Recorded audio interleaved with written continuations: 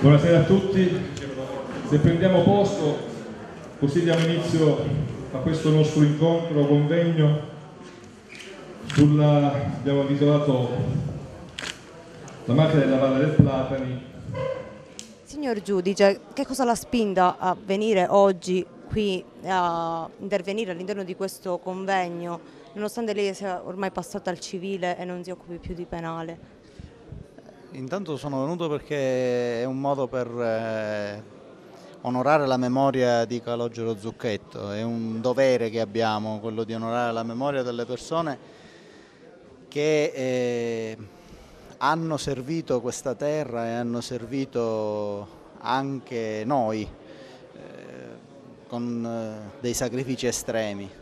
Calogero Zucchetto poi è eh, una figura che quando se ne onora la memoria si possono trarre un po' di insegnamenti, ci si può ricordare di un po' di cose, intanto ci si può ricordare che non bisogna essere persone eh, particolarmente importanti e particolarmente famose o particolarmente potenti per poter fare veramente del male alla mafia. Zucchetto era un ragazzo, era un poliziotto, era un soldato semplice nella lotta alla mafia, eppure è stato ucciso eh, nello stesso periodo in cui la mafia uccideva il generale della Chiesa, per cui evidentemente sia il generale della Chiesa sia Calogero Zucchetto erano stati riusciti, erano, riusciti, erano stati capaci eh, di mettere in crisi la mafia, tanto che l'hanno indotta a rispondere in maniera così violenta.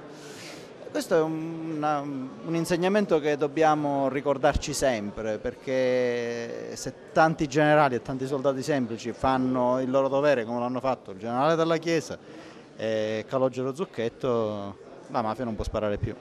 La situazione del, del, vallone attuale è in una situazione, cioè ci troviamo in una situazione di stallo oppure ci sono dei, dei, dei miglioramenti? Cosa pensa lei?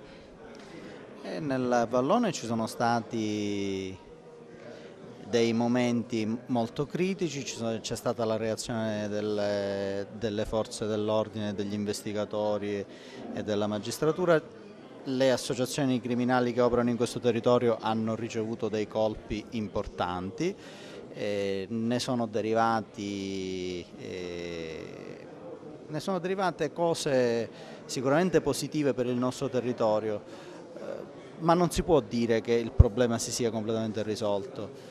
Eh, ci sono in atto segnali non sempre chiari eh, che però ci dicono che certe realtà non sono completamente debellate e quindi ci vuole un altissimo controllo sociale eh, per evitare che chi eh, vuole riacquistare potere nel, nei contesti sociali di questi nostri paesi non lo possa riacquistare, perché poi non dimentichiamoci che un mafioso è forte anche per la debolezza degli altri o per l'indifferenza degli altri.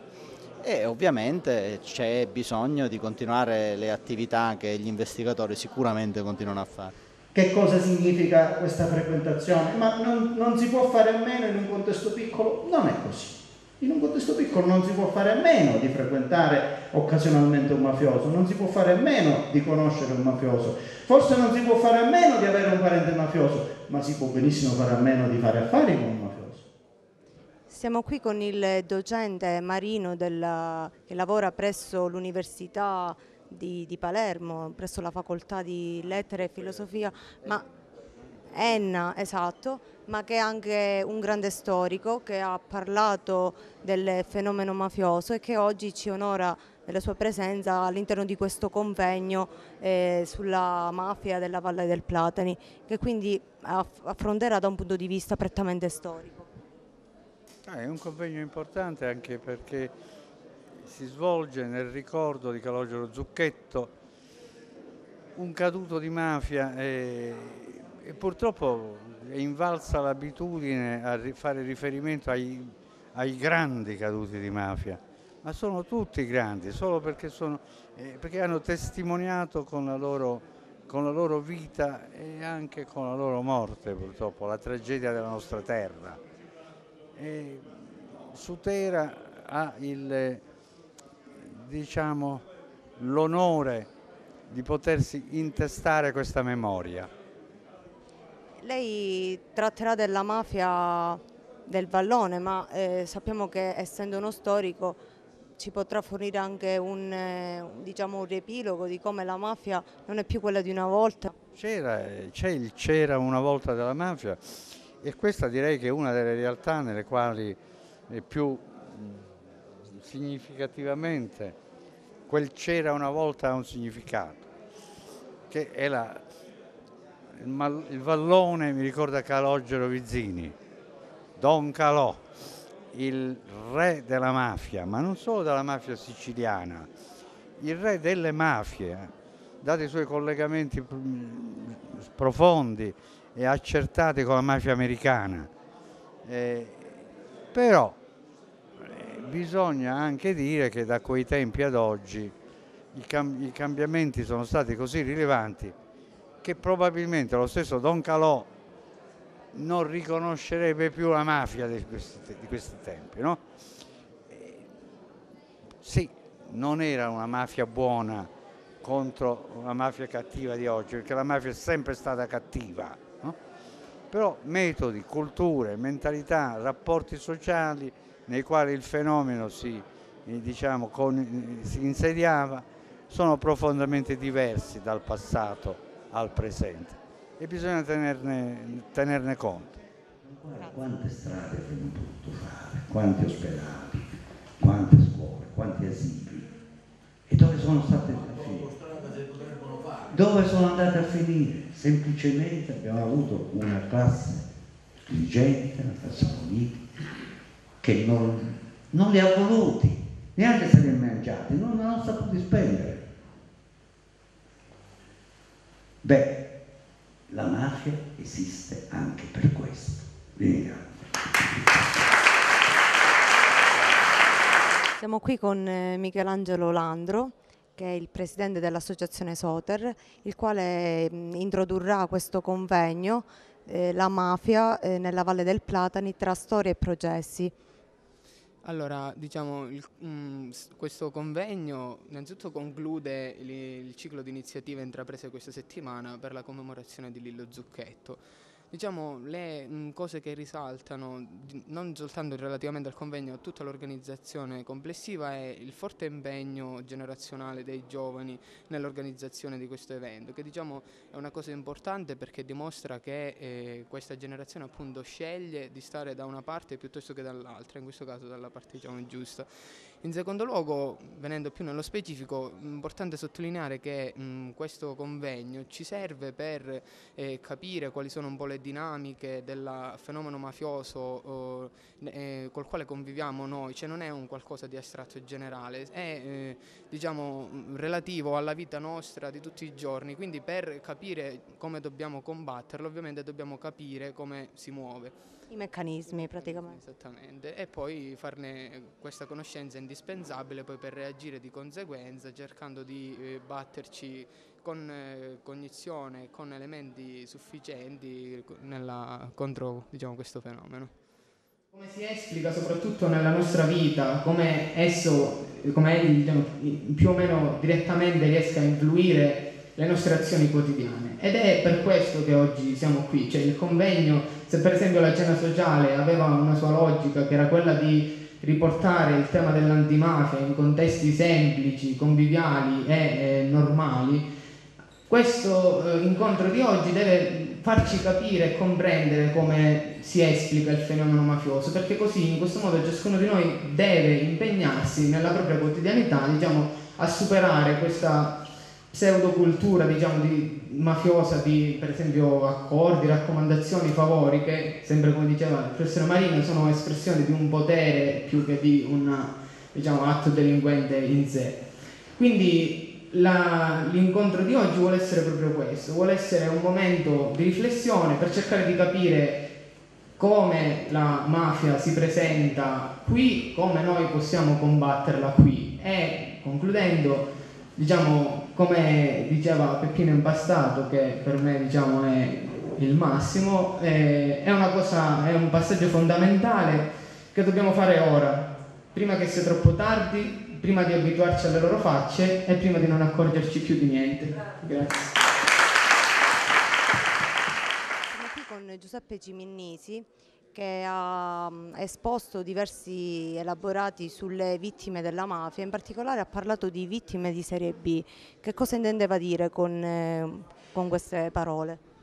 Allora, intanto voglio dire una cosa. eh, In Sicilia purtroppo si vive una situazione eh, che ci sono fa- familiari di vittime di serie B, di serie C, di serie Z, perché lo Stato non riconosce i familiari delle vittime, tutti allo stesso modo. Sono le vittime del terrorismo mafioso che hanno da un punto di vista giuridico più sostegno anche nei processi, anche eh, in tutte le situazioni che noi affrontiamo, perché noi a volte affrontiamo processi, spesso affrontiamo processi a spese nostre e lo Stato non interviene solo quando ci sarà una sentenza civile e non è ammissibile che il boss viene pagato con i soldi dello Stato e io come familiare di vittime innocenti mi devo pagare gli avvocati. È una cosa che non dovrebbe succedere. Anche il signore qui accanto a lei è una vittima della, cioè un familiare de- di vittime di mafia. Ecco, eh, lo zio Vincenzo è un familiare di vittime di mafia che io ho avuto giustizia, lui ancora aspetta giustizia. E lo Stato deve dare risposta allo zio Vincenzo, perché eh, lo zio Vincenzo ha perso un figlio e lo Stato deve essere presente e deve dare risposte chiare e certe allo zio Vincenzo. Qual è la sua posizione in merito a questa situazione? A merito a lui, lui sa che sono stati gli assassini di mio figlio e di, di- di suo padre. Io invece non lo so, non so diciamo, il perché hanno ucciso a mio figlio, che mio figlio era un poliziotto, perché hanno ucciso anche la moglie, il bambino che portavano in grembo e quindi io sono in attesa ancora di, di 23 anni e 6 mesi in attesa di verità e giustizia. Verità e giustizia che praticamente lo Stato non si è impegnato fino in fondo a fare luce su questo eh, triplo omicidio. Omicidio di Stato il mio è, perché mio figlio faceva parte dello Stato, solamente il perché mio figlio non si è voluto piegare alle mele marce quando c'è stato il fallito attentato a Falcone, alla Davora, che mio figlio praticamente ha visto quel borsone, ha guardato, eh, si è reso conto subito che cosa si trattava e ha dato subito alla- l'allarme. Evidentemente da allora mio figlio non si è voluto piegare perché mio figlio ha giurato fedeltà allo Stato. E lo Stato in qualche modo deve prendersi cura quindi anche di, di queste vittime che non ci sono più, ma che meritano quindi giustizia. Chiedono questa giustizia che praticamente, ma ancora nel cesto, come dico io, ci sono delle mele marce. Quanto dureranno queste mele marce per non contaminare altre mele? Questo è il guaio. Lo Stato deve fare una selezione, una selezione abbastanza bene, una selezione che noi non, non dobbia- dobbiamo vivere libere, non sotto la dittatura come viviamo adesso, perché vede il 29 ottobre sulla trattativa mafia politica c'è stata una porcata, dico una porcata, una porcata che praticamente coloro quale che è stato dopo del 92 si possono costituire parte civile, prima del 92 parte civile non ci possiamo costituire. Allora per quale motivo c'è stata questa, questa riapertura a questo processo? Per quale motivo hanno, hanno, hanno diciamo, consentito di interrogare a queste pezze grosse che c'erano colluse con la mafia? Hai parlato anche di vittime di serie Z. Allora, le vittime di serie Z sono eh, purtroppo i sindacalisti uccisi eh, prima del 61, come Accursio Miraglia, come Guarino, come Placido Rizzotto. Quelli sono vittime di serie Z, non sono riconosciuti vittime innocenti di mafia. Lo Stato deve subito correggere questa legge perché siamo tutti figli dello stesso Dio, non siamo figli di un Dio minore.